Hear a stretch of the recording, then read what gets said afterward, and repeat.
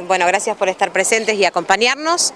Eh, con Cris, un año más, nos toca desde la Dirección de Educación a su cargo y de la Dirección de Desarrollo a mi cargo, acompañar este inicio escolar garantizando justamente eh, que cada uno de los niños y niñas que asisten a los establecimientos puedan eh, concurrir con sus útiles. ¿no? Lo que hacemos siempre es este, este pequeño aporte eh, acompañando este momento, que es el inicio escolar, con presupuesto municipal, que es un trabajo que venimos haciendo desde años, eh, y que realmente lo, lo, podemos organizar gracias a que cada una de las familias se acercan a presentarnos esta demanda que es espontánea. ¿no? Entonces, por intermedio de los merenderos, por intermedio de los comedores, por intermedio de los equipos de las instituciones, la realidad es que nosotros hoy, una vez más, desde esta gestión podemos garantizar y acompañar este inicio escolar.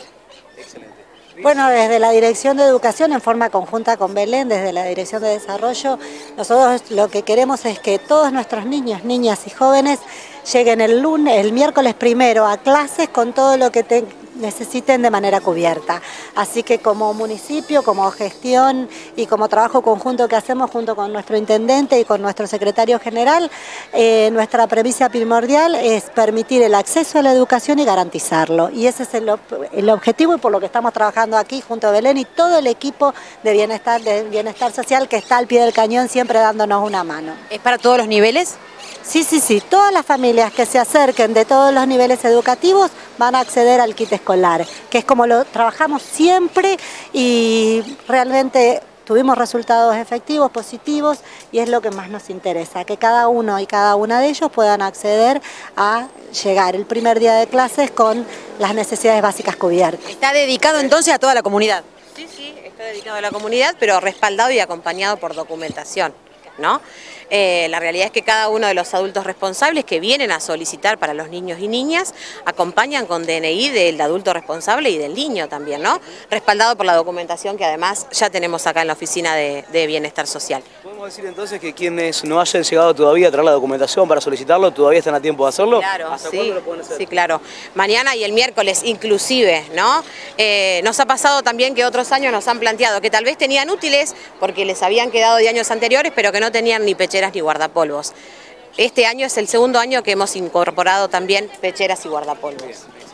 Bueno, Belén, ¿hoy hasta qué horario se pueden acercar aquí a la Dirección de Desarrollo Social? Estamos hasta las 13, ¿sí? Van a ver que estos días tenemos desdoblado el horario porque estamos con el programa Mi Casa, Mi Hogar. Como pueden ver hay muchísima gente porque estamos atendiendo más de 120 personas por día, que son las que vienen a realizar la entrevista. Eh, tenemos, estamos hasta las 16, pero justamente para este programa, que es el kit de útiles escolares, estamos hasta las 13. Cristina, te saco un poquito de la entrega de los kits escolares, pero también me quedo en el ámbito escolar. Llegó nuevo mobiliario para los colegios. Sí, el sábado, gracias a una entrega que se hizo y una gestión que veníamos trabajando desde diciembre, llegó el mobiliario para dos aulas a estrenar en Escuela Técnica y un aula a estrenar en Escuela 27. Así que además de la inauguración del edificio de la Secundaria 2, este inicio escolar estamos inaugurando tres aulas nuevas para nivel secundario y para nivel primario. Así que agradecer la gestión de Dirección General de Cultura junto con la provincia de Buenos Aires, que en forma conjunta logramos hacer posible que los alumnos estén en espacios acordes y acondicionados. Los directores trabajaron de manera maravillosa. Agradezco a todos los equipos directivos porque realmente bueno, pusieron las escuelas hermosas en condiciones. Así que los invitamos a que vengan a conocer las escuelas, vengan a ver las aulas nuevas y el mobiliario que llegó. Hoy comenzamos con los talleres, así que bueno, eh, la realidad es que estamos muy contentos de comenzar con los talleres en los distintos barrios. Esta semana comenzamos en Barrio Balaco, en Barrio Retiro y en Barrio Trocha, así que los esperamos y los invitamos porque es una gran apuesta también. La realidad es que queremos eh, que los vecinos sientan eh, la presencia y que puedan participar de estos talleres que son todos gratuitos, que es lo más importante, ¿no? En tiempos tan difíciles como los que corren, que podamos brindar esta herramienta para que puedan acceder, para nosotros como gestión es muy importante así que los esperamos.